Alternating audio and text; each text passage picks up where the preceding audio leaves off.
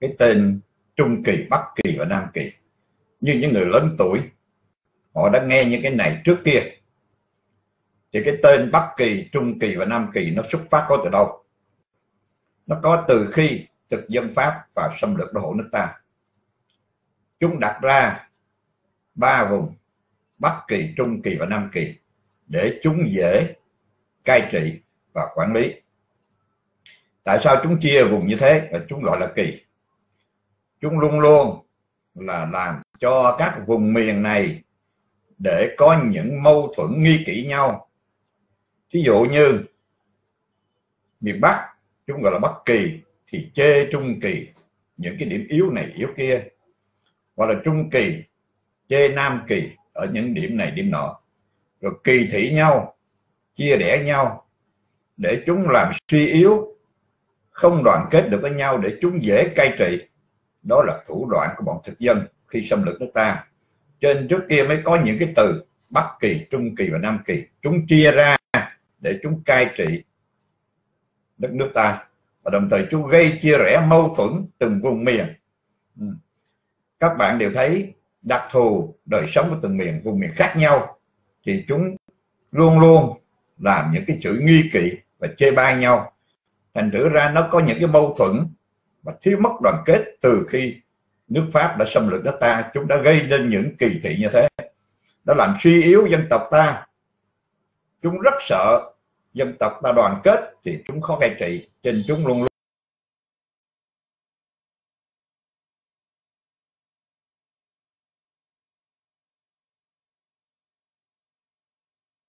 Pháp xâm lược các thuộc địa, các nước yếu như Trung Phi, Nam Phi và Châu Phi. Và đặc biệt ở Việt Nam khi chúng đặt chân vào đô hộ nước ta thì chúng đem theo truyền bá đạo Thiên Chúa giáo.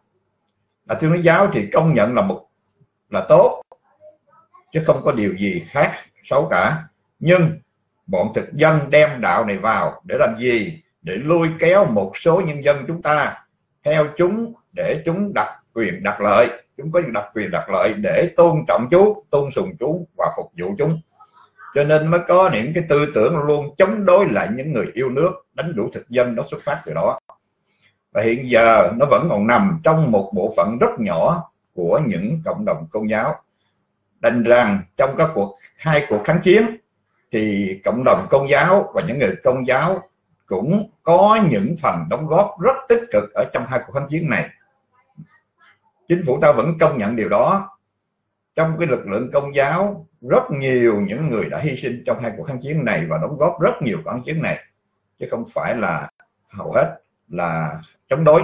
Nhưng một bộ phận nào đó lợi dụng vào công giáo luôn luôn kích động và chống đối.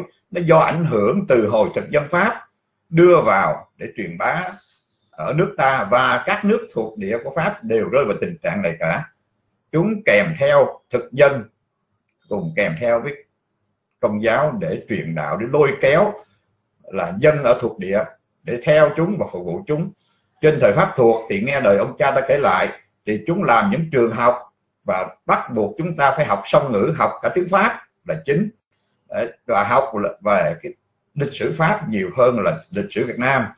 Cho nên chúng muốn biến đất nước ta thành một nước thuộc địa mà luôn luôn ảnh hưởng cái nền văn hóa của pháp và sự cai trị của pháp cho nên tại sao mới có cái tên là trung kỳ, bắc kỳ và nam kỳ là ở chỗ đó? Pháp muốn là chia vùng miền ra đây trên kỳ thị để chúng dễ cai trị và chúng sợ nhất là cái sự đoàn kết. Và cái âm hưởng của cái sự sự kỳ thị đó, nó còn rơi vào một vài bộ phận nhân dân chúng ta hiện tại. Đó là ảnh hưởng từ thời đó tới giờ. Và chỉ có đảng cộng sản, lãnh đạo cuộc kháng chiến chống pháp mới xóa tan và xóa bỏ hẳn ba chữ này, bắc kỳ, trung kỳ và nam kỳ. Đó là một cuộc đánh đuổi thực dân pháp và thắng lợi điện biên phủ và giành lại đất nước chúng ta, đuổi thực dân pháp khỏi đất nước chúng ta năm 1954 nó thể hiện là xóa bỏ hẳn ba chữ này từ giai đoạn năm 1954 các bạn đều thấy rõ điều đó. Trên thế hệ sau này, họ nghe tiếng trung kỳ, bắc kỳ và nam kỳ hầu như là xa lạ. Nhưng chỉ có đảng cộng sản đứng dậy đánh đuổi thực dân thì mới xóa tan được ba cái ba cái kỳ này. Ừ. rồi sau đó tiếp tục nữa, thì các bạn đều thấy và xuất hiện hai chữ nữa, Bắc Việt và Nam Việt. Ừ. Đó là gì? Đó là ý đồ của bọn can thiệp Mỹ và bọn Tây Sai muốn chia cắt đất nước chúng ta lâu dài cho mới đặt ra Nam Việt và Bắc Việt. Nó ứng dụng như Bắc Hàn và Nam Hàn. Nhưng nhân dân chúng ta không đồng ý hai cái chữ Nam Việt và Bắc Việt này. Mới có thành lập mặt trận dân tộc giải phóng miền Nam Việt Nam ngày 20 tháng 12 năm 1960 đứng dậy khởi nghĩa để lật đổ chế độ đó và đi đến cuộc kháng chiến thành công. Và rõ ràng rằng dân miền Nam đứng dậy khởi nghĩa thì các bạn đều thấy rằng những gia đình liệt sĩ và những thương binh hoàn toàn là người miền Nam. Rất là nhiều. Thì chứng tỏ rằng người miền Nam đứng dậy khởi nghĩa, đánh đuổi đế quốc Mỹ và bè lũ Tây Sai.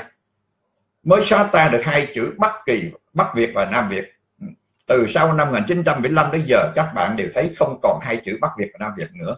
Đó là lý do tôi nói hôm nay. Ừ. Và từ năm 1975 giờ, các bạn đều thấy chúng ta dùng ba từ, miền Bắc, miền Trung và miền Nam. Gọi miền là ý thức để chúng ta ý thức được rằng đó là vùng miền của đất nước Việt Nam, chứ không còn Bắc Việt và Nam Việt nữa. Đó là cùng một vùng miền, cùng một đất nước Việt Nam. Trên nó nói lên thể hiện rằng tất cả là dân tộc Việt Nam. Chúng ta là cùng phải đoàn kết ở dân tộc Việt Nam. Cho nên ý đồ của thực dân Pháp nhắc lại trước kia là chúng muốn chia rẽ dân tộc Việt Nam chúng ta thành đùng từng miền để chúng dễ cai trị và chúng kích động từng vùng miền luôn luôn gây hận thù với với nhau để không đoàn kết được. Ví dụ như cuộc khởi nghĩa của Hoàng Bảo Thám ở Yên Bái thất bại đó, tức là từng vùng từ chữ khởi nghĩa và Phan Đình Phùng Hà Tĩnh cũng thất bại và tới Trương Công Định và Nguyễn Trung Trực ở Nam Bộ cũng thất bại là do thiếu sự đoàn kết, thiếu sự nhất trí các vùng miền với nhau. Và đặc biệt nhất, các bạn đều thấy lúc Pháp cai trị ta, chúng ta thì Pháp có thể đưa dân đi lính cho Pháp của triều đình nhà Nguyễn từ ở miền Nam ra để đàn áp những phong trào miền Bắc. Và chúng đưa những lính là từ ở miền Bắc đi lính cho Pháp và triều đình nhà Nguyễn vào đàn áp những phong trào miền Nam. Chúng thực hiện như thế và chúng thực hiện, nếu mà nó rộng hơn nữa thì các bạn đều thấy rằng những thuộc địa của Pháp như các vùng châu Phi thì chúng đưa lính châu Phi vào ở Việt Nam để cai trị ở Việt Nam. Ừ.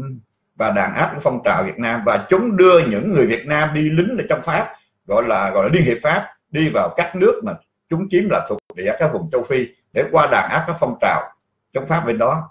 Đó là ý đồ thực dân luôn luôn muốn gây chia rẽ từng dân tộc và từng vùng miền ở chỗ đó cho nên chỉ sau năm 1975 chúng ta thống nhất đất nước, dân miền Nam đứng dậy khởi nghĩa và sự giúp sức của đồng bào miền Bắc.